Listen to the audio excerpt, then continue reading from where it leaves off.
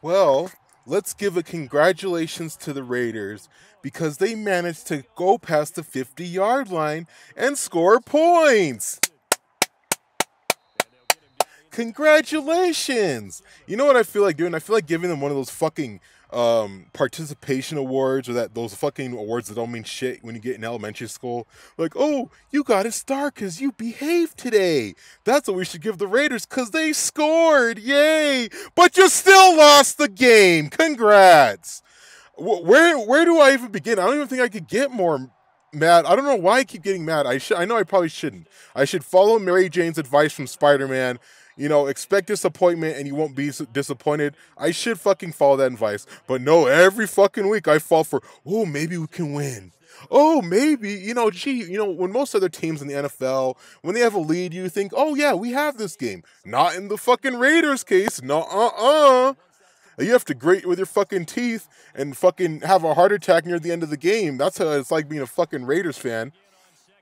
But I find myself pissed again where the hell do I freaking begin? All right, first off, first the the first half was good from both sides of the ball. The first half was good from both sides of the ball.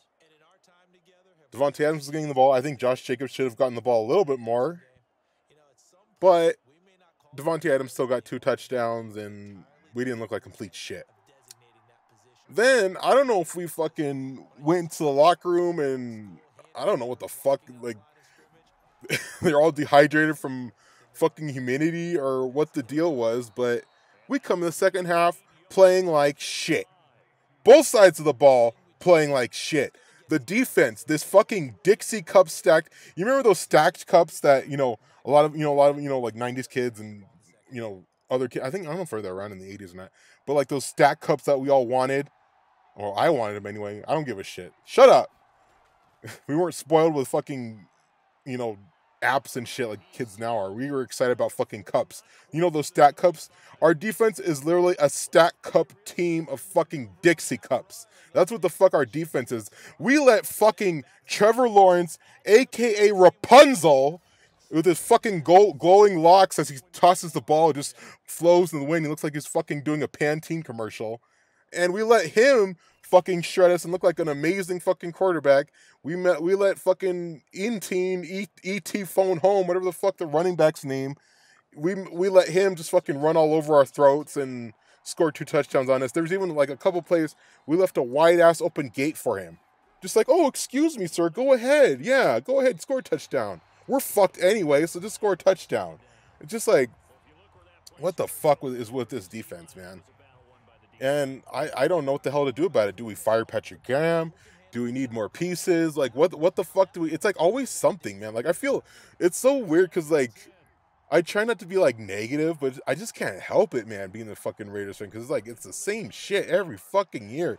Doesn't matter who, what regime you have, doesn't matter what coach you get, doesn't matter what certain player you get, it's all ends the fucking same every year. I feel like fucking Stanley Yelnats from Holes. I feel like I feel like Madame Zeroni fucking cursed us, man. That's what I feel like. Like we cannot fucking like. It, it's just unbelievable. This is unbelievable, man. And I think it just it hurts more this season because we had such fucking high expectations. And I don't know, man. It just fucking I don't understand it. So yeah, so the defense plays like shit. They let the fucking Jags, the Kitty Cats, Jags come back. I can't even make fun of them. They fucking beat us. They made we, they made the Jags beat us with fucking Rapunzel at the quarterback. You know, he he threw it. You know, throwing dimes here left and right here, and and then you know they come up and they catch up to us. Right now, next is the offense. Okay, next is the offense. You're gonna get your verbal spanking next you didn't score for the second half. So you're like, oh, well, we did better. We scored in the first half. No, motherfucker. You are paid to play four fucking quarters, 15 fucking minutes each, 60 minutes. You are paid to play 60 fucking minutes of football, not 30. And if you're going to play 30 minutes, you should take half of what you get paid. So now, I mean, Josh Jacobs was doing good, but of course, we don't give him the ball because now Derek Carr because he's so he acts. Uh, uh, that's the thing I don't understand about Derek Carr. He acts like he's like, oh, you know, I'm I'm real tough. You know, I don't care what no one says, and oh, I want I want respect and blah blah blah, motherfucker. And then like he literally just does he does like the hyper. I don't know what the, what what do I say? Like he goes to the other extreme. He went from not targeting Davante Adams at all to like, oh, I'm just gonna target Davante Adams the whole fucking game, dude. You got two of the receivers there, man. And that's the big problem with him. He does not go through his fucking reads because he fucking panics. If he he's like, okay, the play says this person, so if if I when I say hike, I gotta immediately throw this receiver no matter what, whether they're double or triple covered or their fucking back is turned, they haven't even made the route yet because you can't wait because you're such a scared little fucking. Oh my gosh, dude. There were like at least four or five times where he was throwing to Davante Adams, and Davante Adams wasn't even in position yet because he had to get his little happy feet dancing. Oh, I gotta get rid of it. Oh, I gotta get rid of it. You've been in the league for fucking almost 10 years, dude, and you still act like such a scared little bitch when you're in like, dude, I'm so fucking sick of it. Okay. So now he hyper focuses on Davante Adams. I don't even think well, no, Renfrow got a couple throws. I don't even think Mack Hollins got anything. And of course, Darren Waller sitting on his fucking sideline listening to his fucking headphones, not giving a flying fuck. I'm mad at that motherfucker too. He hasn't even, I don't even think he scored a touchdown this whole fucking season.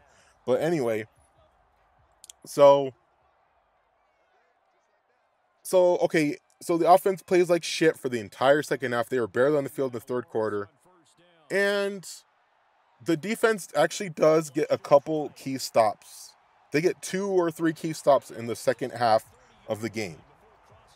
These two or three stops give Carr at least three drives to try to get us a touchdown to either get us a lead or to tie the game.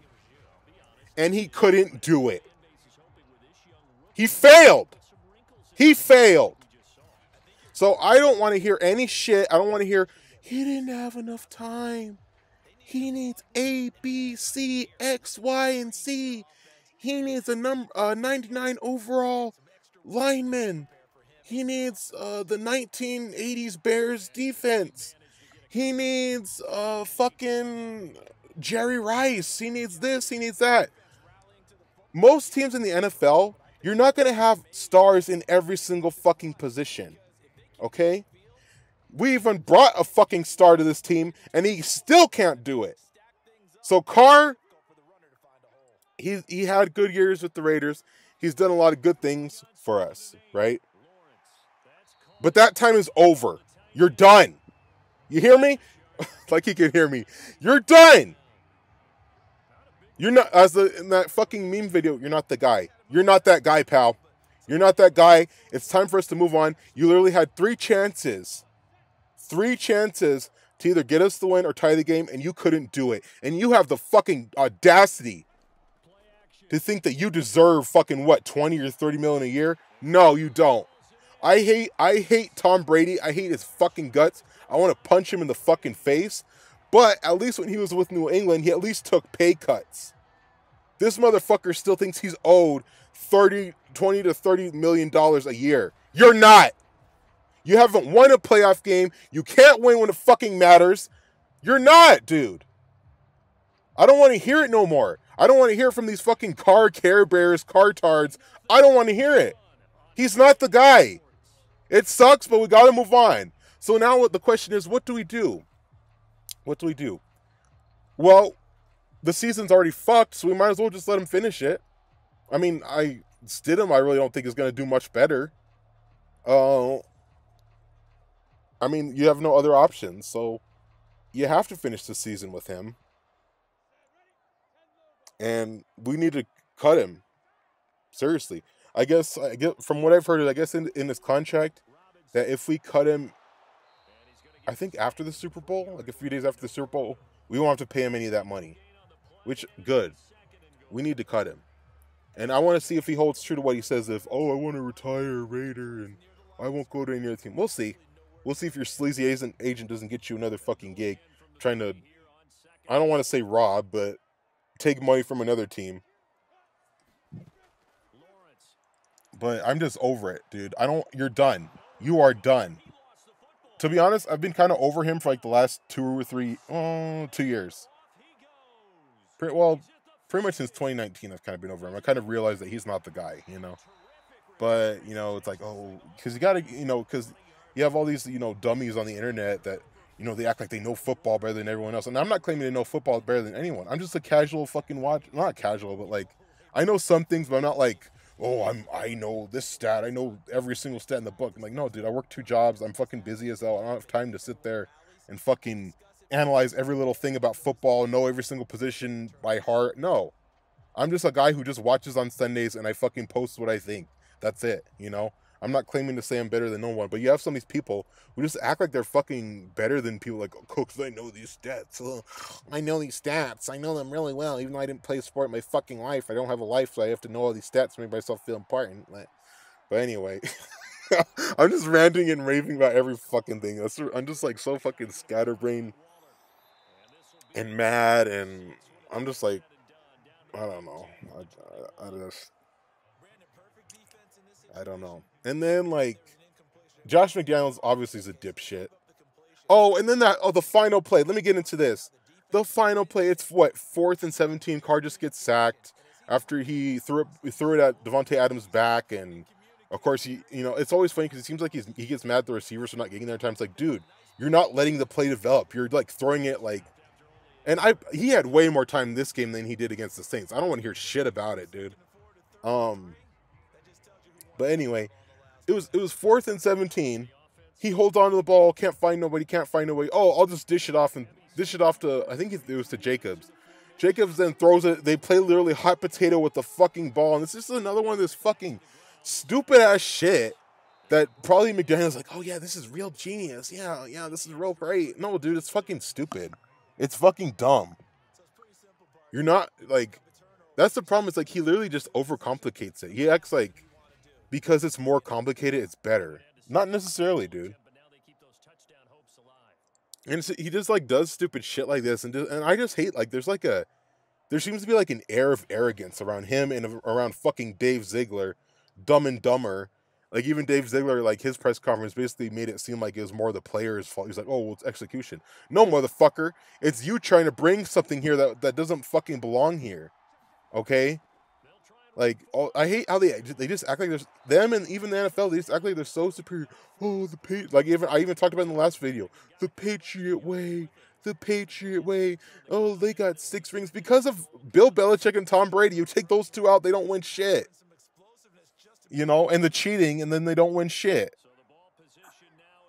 Like I'm even even the fucking uh, janitors over at fucking Foxborough and the the people who fed fucking peanuts to Tom Brady, even they have six rings, but that don't mean shit. You you ain't better than nobody, motherfucker. I don't care who the fuck you think you are, Dave Ziegler. You look like a fucking rat from the mob, dude. You look like a fucking snitch. You look like they would take you out to the fucking lake and put cement shoes on you and push you in the lake. That's what you look like. But any, anyway, oh so I don't know, man. This season, I don't even fucking know. And then what? We got the Colts next. Can we beat the Colts? I don't know. We couldn't beat the Saints with fucking ro- them rotating quarterbacks.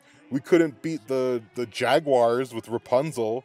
So I don't see us beating the Colts either. We could we might even lose to the, to Russell Wilson. I could see that happening. We could because especially away, we haven't even won a single away game this year.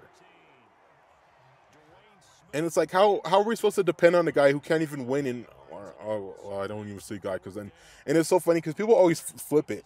When we win, it's because of Derek Carr. But then if we lose, oh, it's a team game. It's a team game. Well, which is it, motherfuckers? Is it a team game or is he the reason? You know, I just hate that. So I don't even know what the hell we do. Like, I guess just ride the rest of the season out, or you could tank and get draft picks. I don't know. I don't know what the hell they're doing, man. And then Mark Davis comes out like, oh, you know, McDaniels is my guy and I'm going to support him. Okay, yeah. You do that, you bowl cut asshole. I mean, part of this is Mark's fault too, man, because he, he hires these fucking people like, I don't know. I mean, I get it. You want to have some stability, but just like, hire the right people from the jump. Don't hire some shitty ass fucking failed coach just because he he licked Bill Belichick's nuts. You know, like who cares? He hasn't done shit. No one from the Bill Belichick tree has done shit on their own. So why did why even like coming from that tree even matters? I don't know, but because he won six rings, Patchy. That's why. Well, no shit. They won it because of Tom Brady and Bill Belichick, and because they cheated a few times. Not because of Josh McDaniels or Dave Ziegler. Oh my gosh, dude! I don't know, man. What what do you even do with this team? What do you even do with this team? I and I don't want another rebuild. It's like I don't want another rebuild either, because then it's like I don't. I have no idea, but obviously some people are going to go. I mean, I've heard rumors that they're thinking about getting trading rid of trading Josh Jacobs, which I hope not. He's literally the only thing, consistent part of this offense. Uh, I mean, Darren Waller can go for all I give a fuck. Like he he see, he does not seem any rush to go back on the field. I mean, and I probably don't blame him. Like, would you want to play for this shitty team? I wouldn't. You know, but then again, he did get paid, so it's like it seems like he's just taking his money and running. So which just sucks because I mean he's he had such a good good story of you know coming back from addiction and stuff, but I guess he's more focused on rapping than he is playing football, which sucks. I mean he's because he could play good football if he wants to, but he I guess he just doesn't want to this year. Apparently not. He does not seem in any rush to be to play. Even even fucking Davante Adams played while he was sick. You know, like Josh Jacobs played while he was sick, but Darren Waller he just he does not want to play in like he unless he's like absolutely 100 percent, which by this point, halfway through the season, no one's at 100%, you know? But I don't know, man. I really don't know. I'm I'm a little more calmed down now. I'm not as pissed, but I think going forward, I'm gonna have the Mary Jane attitude. I'm gonna I'm gonna listen to what she said and just take it to heart. Like if if I expect disappointment in these games, I won't be disappointed when we fucking lose, when we get blown out, or when we have a lead and we we can't score in the second half. So I'll just go ahead and follow that logic. But some people are like, oh, you're being too negative. Okay, dude. It's like at some point, you know, you just gotta accept that, that we're fucking shit and that we're garbage. And all right, I'm gonna just accept that. I'm just gonna, you know, going forward. I'm just. I mean, I'll probably still react to the games. I'm just gonna take the games as what they were. I mean, in my opinion, this is the final nail in the coffin. I mean, I I've said that uh, when we were 0 and 3, or was it 0 and 3 or 0 4 that that we're not going to the playoffs now this is like the final nail in the coffin because basically to go to the playoffs now, they would have to win the rest of the games all season, which they're not going to do. They're not going to do it. They're not going to beat the Chiefs. They probably will lose to the Colts. Uh, they I don't know. They might squeeze one out against the Broncos, but I could see us losing that game too. Like, I don't know. I don't know. It just it just really sucks for us, you know, as fans that we have to continue to put up with the shit year in and year out. Then we have fucking owners that don't listen to us and fucking general managers that think they're fucking so superior general managers and coaches that think they're so fucking superior when they ain't shit. On their own they haven't done shit but they act like oh we got six rings. Yeah take those six rings and shove them up your ass. Take it individually and shove it in the order you want it assholes. Thinking you could talk down to us like that. Who the fuck do you think you are? But anyway i better get off otherwise i'm gonna start getting mad again um, but anyway, I hope you guys enjoyed, and I hope to see you next time. Thank you.